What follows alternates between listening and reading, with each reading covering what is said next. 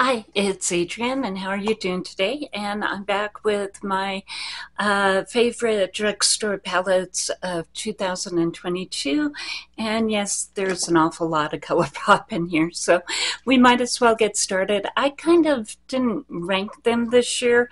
Um, I went ahead and divided them into uh, 9 pan palettes and 10 pan palettes and the larger palettes.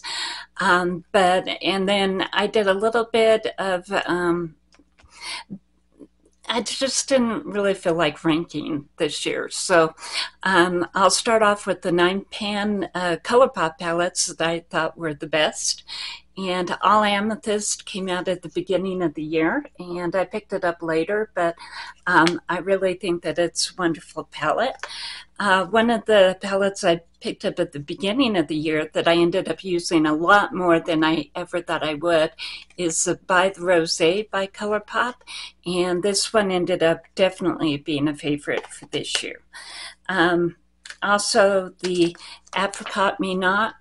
Um, I just really thought that this uh, just had a lot of really blendable, pretty colors in it. For summertime, it's great. And so those were the ColourPop or the ColourPop nine pants, And these are, I think the tin pants, aren't they? Yeah, these are the tin pants. Uh, so Twist of Slate, which came out at the beginning of the year, has been a favorite this year for me. Um, I also really liked the Set in Stone one as well. And so um, this is going to be the cooler one, and then this one is going to be more golden. The clay cool, for some reason, just I didn't get along well with it, and I don't know why, but I didn't. And uh, then going ahead and moving on to some of the other ones. Um, this one actually isn't ColourPop, but it's one of my favorites of the year. The Scooby Doo by Glamlite, uh, Ruggy. And um, yeah, uh, uh-oh, Shaggy. Uh, this one, an amazing color story and an amazing formula. So definitely one of um, the best of this year. Definitely high up there. Um, another one that I thought that um, I didn't really think about it when I picked it up, but I ended up really liking it. It has some new and different ColourPop formulas in it, uh, these tie-dye ones, and then um, some creamier formulas that were really fun to play around with. And I thought that, um, you know, being a sci-fi fan, it just struck all the right chords. So, yeah, I really liked that one. And I guess we're we're actually doing the cooler palettes now that I really liked. Um, and then Troublemaker as well. That I mean, with this Hitchcock kind of thing going on with it. Um, yeah, and it has a really pretty color story and a really cool, cool, cool and cool color story. So I really liked it as well. Um, another one that's I put it in the cooler pile. I guess you could put it in the warm pile if you wanted to. Um, but it's the Enchanted one by ColourPop. And I just think as far as the rose golds and um, the purples, this one just can be a replacement palette for a lot of the palettes that at this point are getting a little bit older and aren't necessarily on the ColourPop website anymore. So I thought that this was a really good palette as well getting into some of the warmer palettes, um, I did like on the list a lot. And um, it has just a really pretty selection of colors and it has some greens and some oranges and a couple of sparkly shades that I just thought worked really well together. So I really liked that one. And um, It's a Small World, which is one of their newest ones uh, came in right under the wire for me, and I think it's a beautiful palette. Um, and I just really liked the color story in this one. And let's see, um, again with the holiday releases, um, yeah, I'm a Muppets fan from way back. You know, we grew up watching the not only Sesame Street but the Muppet Show on TV, and it was always a big hit. And so, I mean, if this palette had let me down, I would have been really sad, but it didn't. And it's a really good palette. So, yep, loving this one. Um, let's see. I also had um, a couple other ones here that, um, yeah, they're down there. Never mind. Um, this is also a warmer palette. This is by Beauty Bay. It's called The Berries. And um, I got it this year. The formula is really fun to play around with. It's very, very intense. And so, yes, this palette that I also thought was amazingly good this year and um, getting into a couple of palettes for green looks. And I ended up with two palettes this year that I thought did amazing green looks, and green looks became so popular.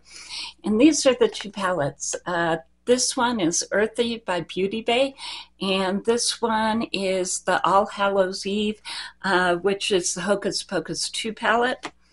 And this one by Beauty Bay, um, for a nine pan palette, you can go and get a total green look paste or green look based on um, a yellow green or a Kelly green.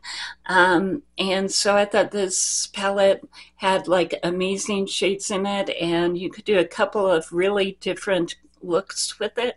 So I thought it was amazing this year. Um, the All Hallows Eve, I didn't really think of this one as being a green palette, um, but this green look that you can do uh, with this your base, then this your shimmer, this is your outer one, and then you add in these two end colors here, and it just turns into a really beautiful green look. And this formula on this palette is wonderful. So again, another uh, favorite. And again, if you want to do some green looks, either one of these would be amazing. Uh, the surprise pellet of the year for me was not a box of chocolates, and um, I really didn't uh, think that I would be attracted to um, something that's so neutral because I don't usually go for brown neutrals, and um, I'm having a lot of fun playing with this palette. So, yeah, this was the surprise of the year for me and definitely out of my comfort zone. And then um, as far as the larger palettes, I think this Harry Potter palette is absolutely gorgeous. And it's Back to Hogwarts is what it's called. Um, this is what it looks like. You can do some amazing green looks with it, and you can also do some amazing um, sunrise kind of looks with it. And so I thought the formula was great and just amazing. It took me back to reading all of the books and just not being able to put them down because they're such page turners. And so, yep, that one there. Um, again, looking at the larger, these are the mega palettes. Um, the rock candy came out, and I thought that it was amazing as well.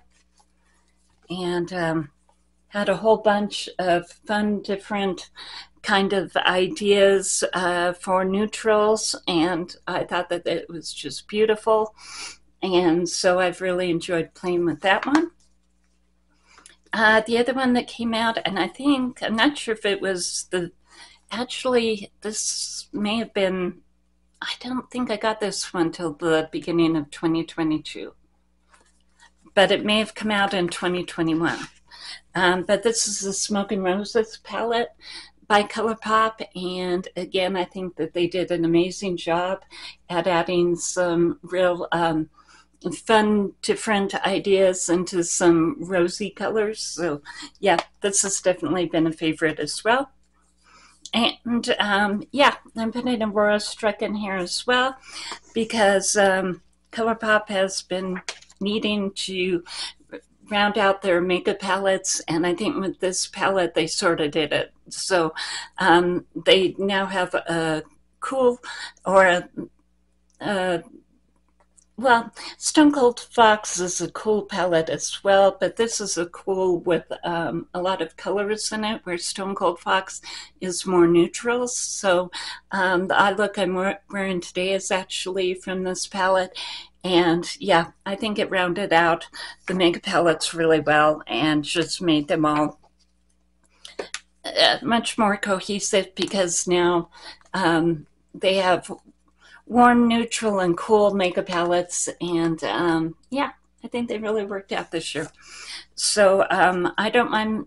Actually, I kind of look like having, you know, more to choose from as far as colors. So I'm liking that a lot. Um, I think that's my roundup. And I mostly, um, I mostly buy drugstore palettes. So, uh, yeah, this is my collection moving forward, and I'm actually really happy with it. I think ColourPop came out with some amazing uh, palettes, and there was just some really beautiful palettes this year. So, uh, that's a video, and I hope you enjoyed it, and have a great day.